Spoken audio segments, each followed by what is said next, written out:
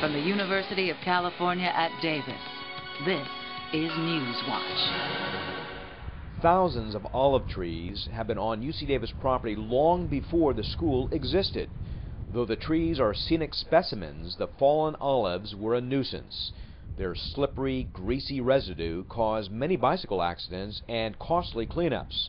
So the campus decided to devise a plan to press and blend these olives into a marketable product. It has also branched into vinegar production. The olives are harvested and the oil is produced right from the campus trees. And instead of landfilling those olives, we're now making a usable commodity for people to basically consume. The olive oil was a big hit, both on campus and in competition. Three of the school's four varieties took gold medal honors at the LA County Fair, the largest olive oil competition in the nation.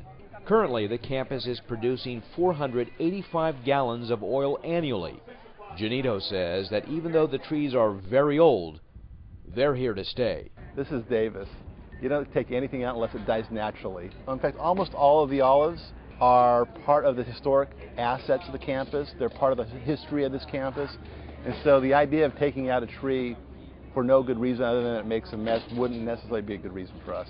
The campus expects to make about $15,000 in profit from the sale of its vinegar and olive oil. That money will be used to further olive oil research projects on campus. Reporting from UC Davis, I'm Paul Folknauer.